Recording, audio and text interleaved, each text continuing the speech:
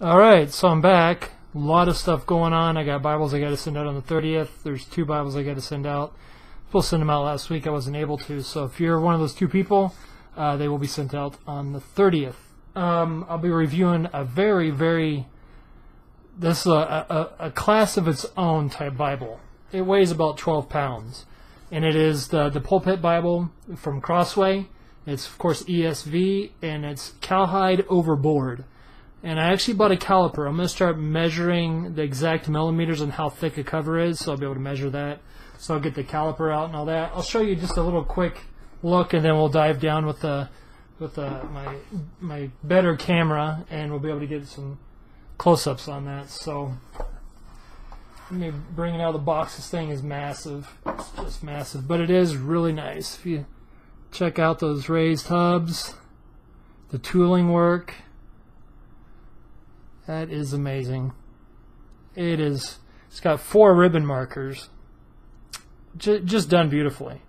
And that cowhide, you, cowhide, you can really, really smell it. And it's got like a brick of gold for art gilding done very very nice it's actually done by r.r Donnelley. so like i've said many times that's my favorite uh, publisher in china not my favorite publisher of all time of course not but uh, as far as if you're going to get something done in china you go to r.r Donnelley and sons so uh, they do a good really really good job and uh, you'll see it when we do the close-ups let me put this back in there and then we'll get to the close-ups all right Alright, I'll try to make this short and sweet. This thing is massive, as you can tell. This is bigger than the actual desk that I review all my other Bibles on.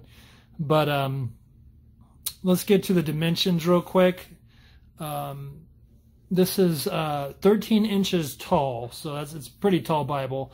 And then it's uh, 9 and 3 quarters in width.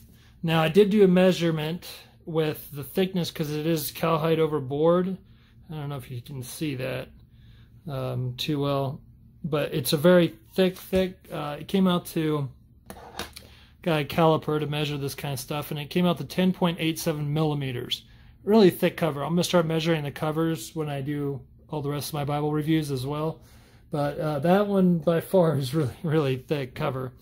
Um, I might have to do a follow-up video because there's so much to say about this one it does have a beautiful feel to the liner. Whatever they use, the material, it feels top of the line. And this leather too is just amazing. Now it does have your raised hubs, and I believe it's just four. Let's see here, one, two, three, and four.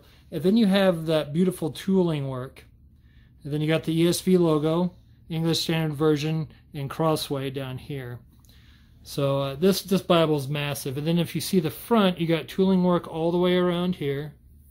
Coming around with the ESV logo, Holy Bible, gilded very nicely, and it's impressed in there as, as long as gilded.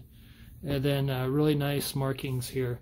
Let me just uh, make this easy. Now this paper is very opaque and um, it does it does a wonderful job. I mean, and the size of this text is is just massive. I think it's 12.5 font. Let me see. I got a box around here. 12 point lexicon.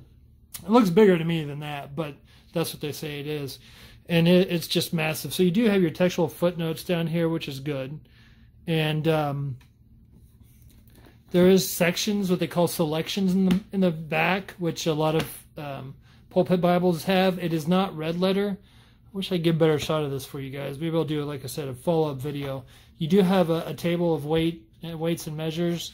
Uh, you have a responsive readings, what they call selection. So you, if you want to talk about creation, it has all the writings in the back, and it has different subjects here, the fall and all or in order of the Bible. So, and also it has four ribbon markers. Uh, they're single satin, uh, but they're really nice ribbon markers. I mean, they're built really nice, and they're they're I'd say that yeah, they're definitely wider than 10 millimeters. They're wider than that. But um, the paper on this, I would have to say it's probably 100 GSM. I thought at first 70, but after doing a lot of looking at this, I was saying that I think on the introduction, it's got to be up there close 70 to 100 GSM. It's a really thick paper, and there's areas where you can see they had used some kind of cloth material. Uh, it's really solid paper But uh, there's not really much to say about it. It's a pretty plain Jane Bible, but it's just massive and it looks really nice.